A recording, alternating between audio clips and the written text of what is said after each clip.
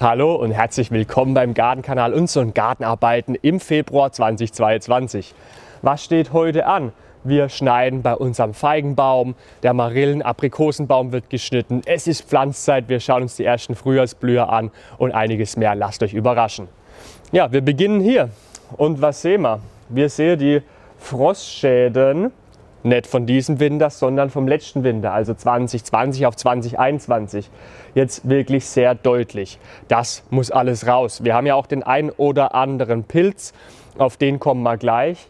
Und was man auch erkennen kann, hier hängen noch ein Haufen Früchte oder Fruchtmumien dran. Die müssen alle auch noch weg. Also, los geht's. Wirklich schade drum. Wir sehen, die Rinde ist rissig, aufgeplatzt, heller absolut ganz großes Potenzial hier für Krankheiten, Viren, Bakterien als Eintrittsfläche. Ja, auch wenn wir ja Austrieb haben, der hier auf die Dauer bringt nichts.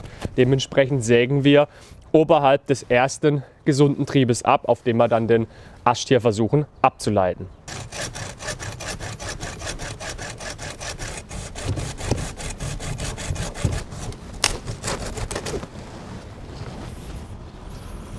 Im Querschnitt sieht es hier ganz gut aus. Ja, das bräunliche ist ein bisschen Erde, was von der Säge vom Boden dran gekommen ist. Ja, und auch, wenn es weh tut, sowas rauszuschneiden, es hätte einfach keinen Sinn gemacht, ihn weiter dran zu lassen. Nichtsdestotrotz, hier können wir einiges auch nochmal für Stecklinge verwenden. Jetzt kommen hier die Fruchtmumien ab, also die Herbstfeigen vom letzten Jahr, die nichts mehr geworden sind. Ich könnte es natürlich auch hier so abreißen oder abdrücken. Manchmal reißt man ein bisschen Rinde auf. Das möchte ich jetzt hier vermeiden, wenn ich es in der Höhe schon so bequem machen kann. Und ich werfe es jetzt hier auf die Seite, räume ich aber später weg. Wie gesagt, auch die Früchte hier zwecks Krankheiten, Viren, Bakterien einfach ein Ort für die Überwinterung und dann auch wieder für die Verbreitung davon. Also wegmachen, wenn man die Möglichkeit hat. So, Thema wurde angesprochen.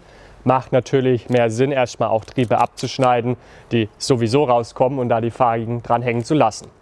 Ja, bei dem Ast haben wir es jetzt relativ gut gesehen, dass der was abhat. Ähm, wie erkennen wir einen Frostschaden oder ob unser Ast lebendig ist? Wir können ein klein wenig mit unserer Schere am Holz anritzen.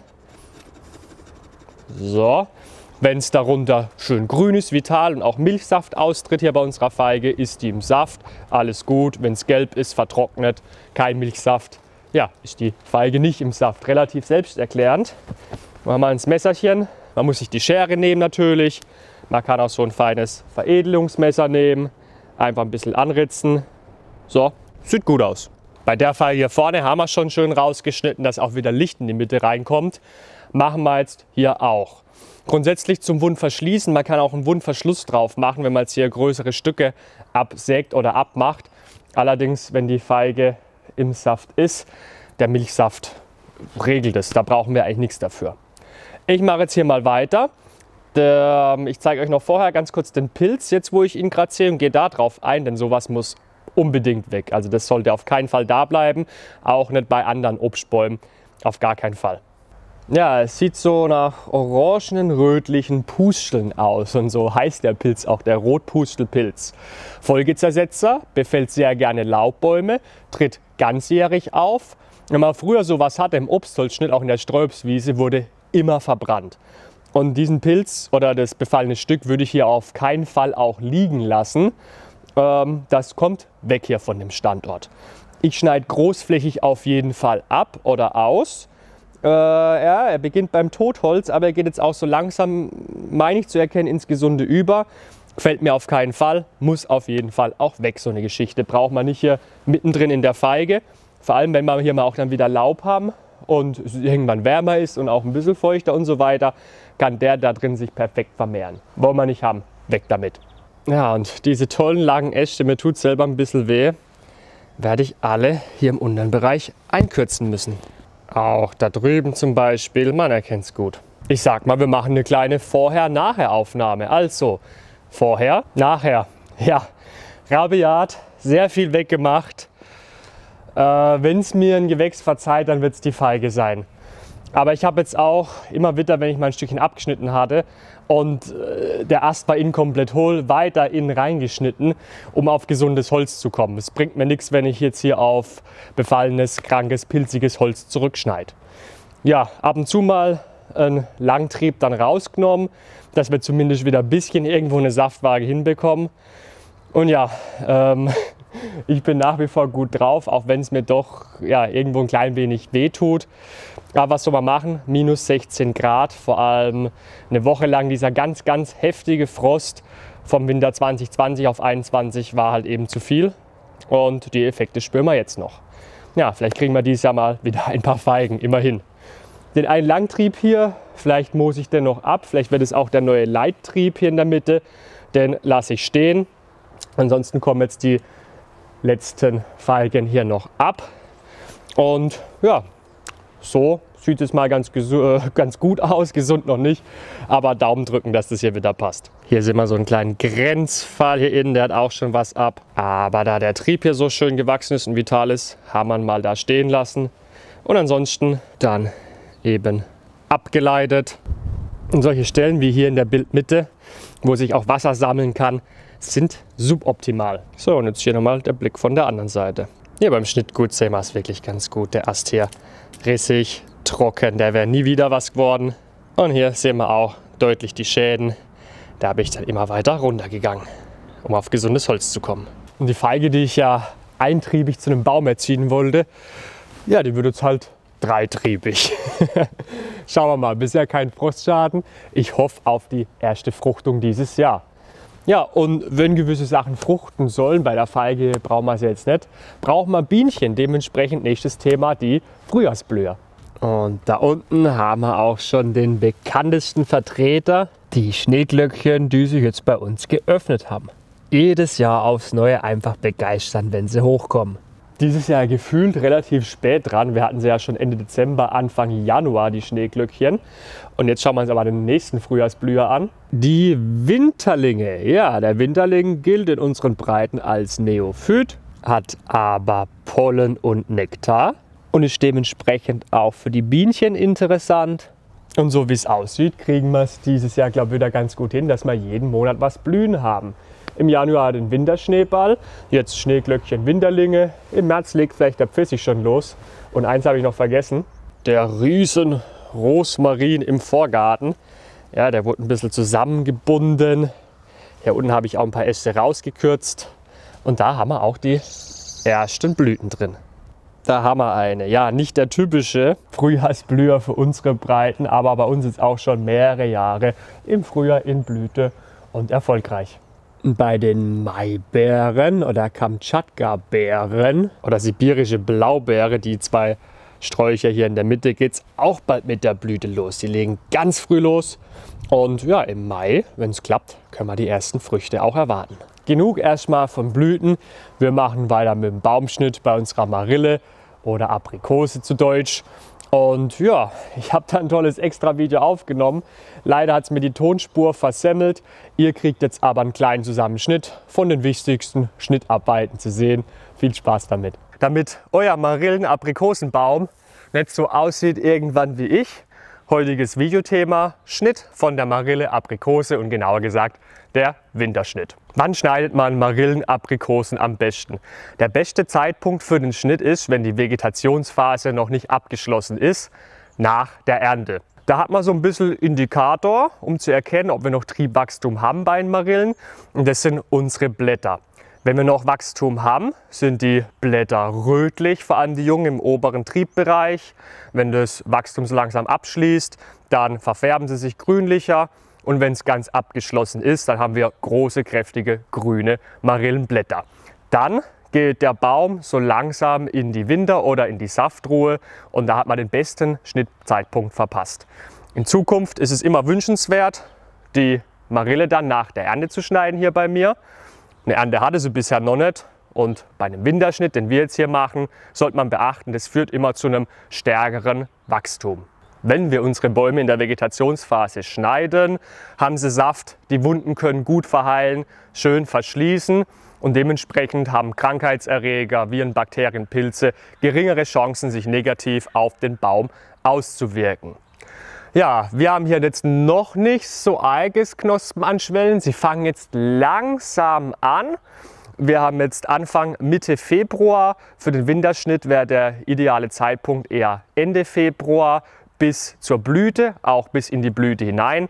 Sobald dann die Aprikose hier langsam schon Früchte angesetzt hat, erste Früchte dran hat, sollte man mit dem Schnitt aufhören oder nicht mehr machen, denn dann wird schon sehr viel Energie in die Früchte reingesteckt. Aber prinzipiell kann man bis in die Blüte hinein schneiden und es empfiehlt sich damit anzufangen, wenn die Knospen dann schwellen. Dann wissen wir, der Baum ist im Saft und etwaige Schnitte oder unsere Verletzungen können gut abheilen und sich verschließen. Wetter für den Schnitt? Ja, am besten natürlich Sonne, super gut, feuchtes, nasskaltes Wetter ist nicht ideal. Dementsprechend so der komplett falsche Schnittzeitpunkt für so eine Geschichte wäre dann November oder Dezember. Wir hätten Wunden, die über den Winter lange offen sind und wie gesagt, Krankheitserreger können eintreten. Jetzt haben wir natürlich alle unterschiedliche Standorte, unterschiedliche Bäume, unterschiedliches Klima. Aber um es mal rauszuhauen, Aprikosen-Marillenschnitt Ende Februar bis Ende März, manchmal vielleicht noch bei einer ganz späten Sorte Anfang April. Grundsätzlich zum Schnitt dieser Triebe hier. Normal würde ich so einen Langtrieb versuchen ganz rauszunehmen und auf schwaches Holz abzuleiten.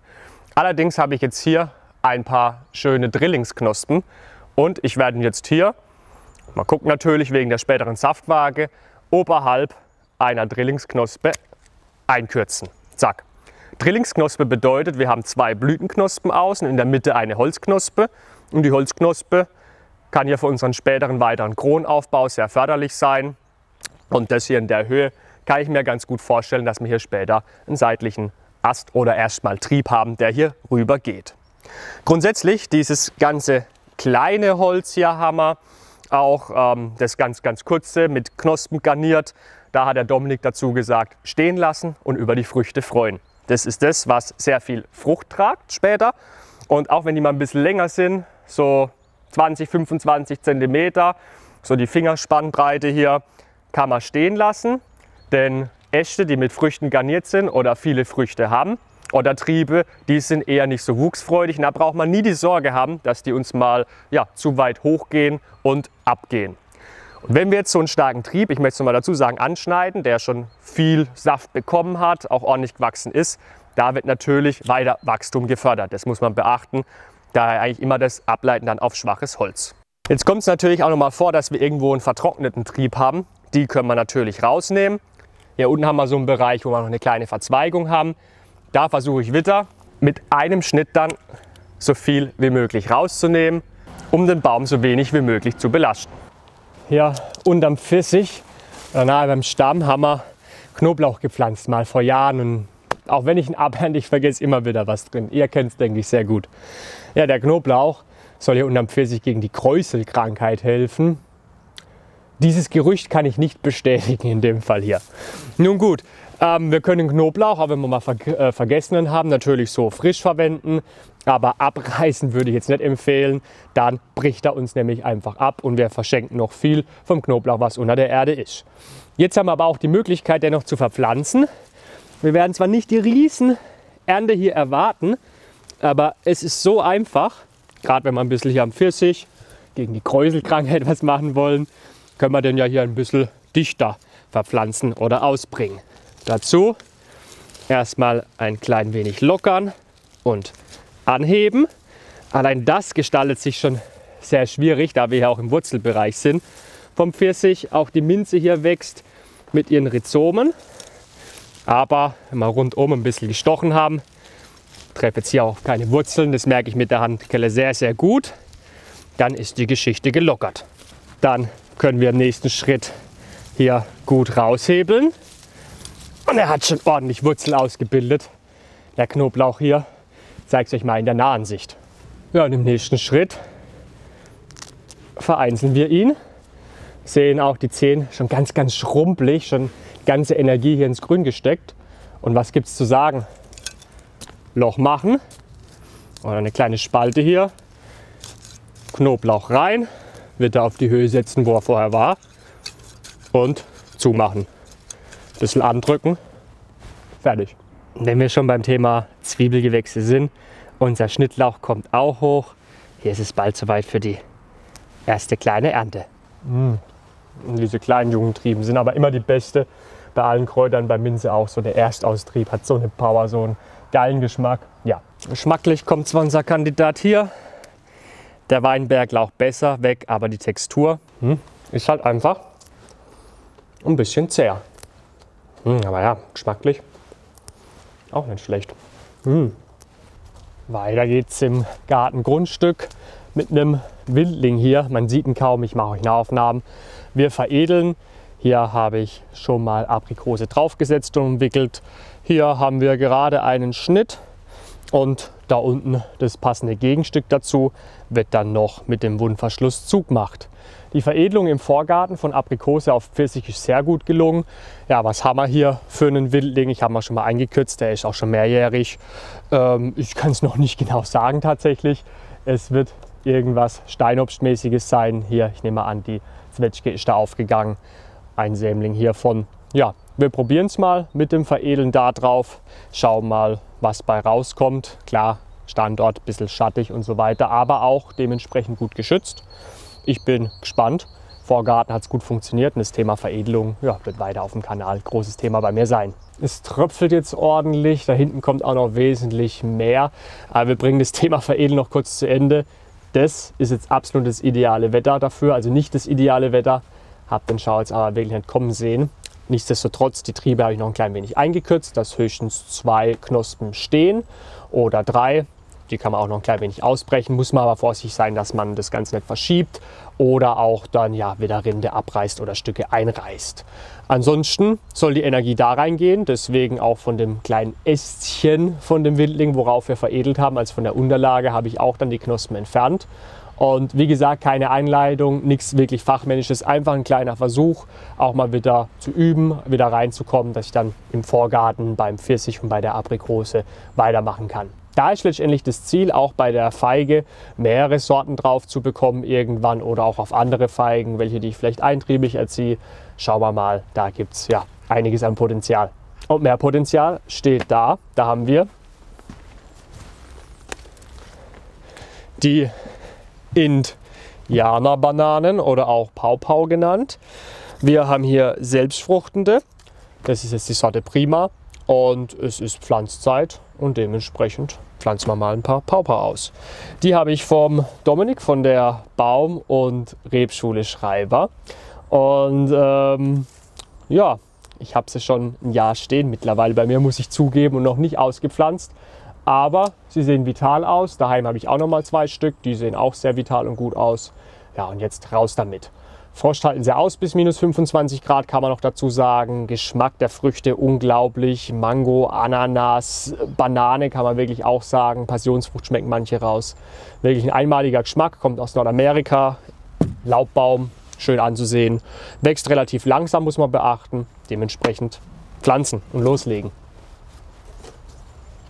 Wir machen einen kleinen Kamerawechsel bei ja, immer wieder Regen. Ist mit der anderen nicht so cool. Und dementsprechend, Moment, Mal wieder meine Perspektive mit dem Mundstück. Aber keine Sorge, wir kommentieren das Ganze ja, nach. Fürs Pflanzen brauche ich die Grabgabel und die Uni-Erd-Gartenkelle zum Lockern oder Lösen der Grassode. Die Man Banana, so wie die Indianer-Banane auch in Nordamerika genannt hat, keine Verwandtschaft zu unserer typischen Banane.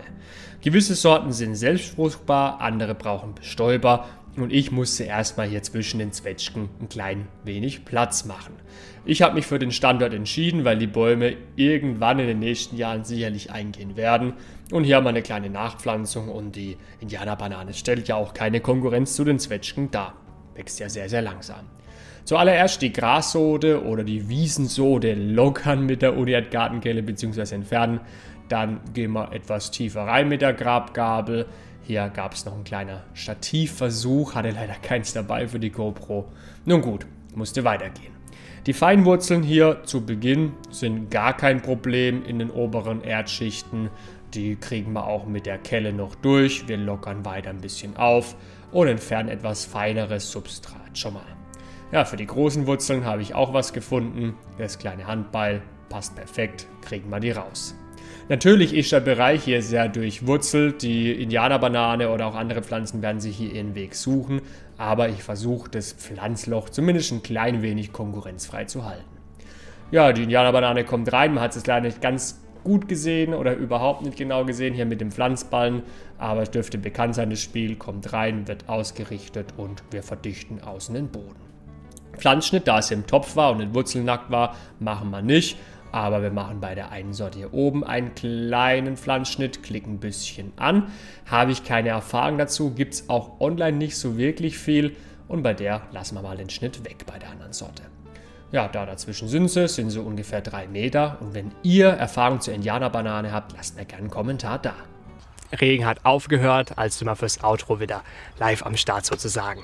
Was sind momentan eure Gartenarbeiten im Februar? Momentan steht natürlich auch in der Anzucht drin einiges an, kommen auch noch Videos von mir. Aber lasst mir gerne einen Kommentar da. Ansonsten freue ich mich natürlich über Däumchen nach oben, Video teilen, sonstige Kommentare und kostenloses Abo, wenn ihr es noch nicht gemacht habt. Dankeschön dafür. Ich danke fürs Zuschauen, wünsche ganz viel Erfolg bei euren Projekten. Macht's gut, bis zum nächsten Mal und ciao!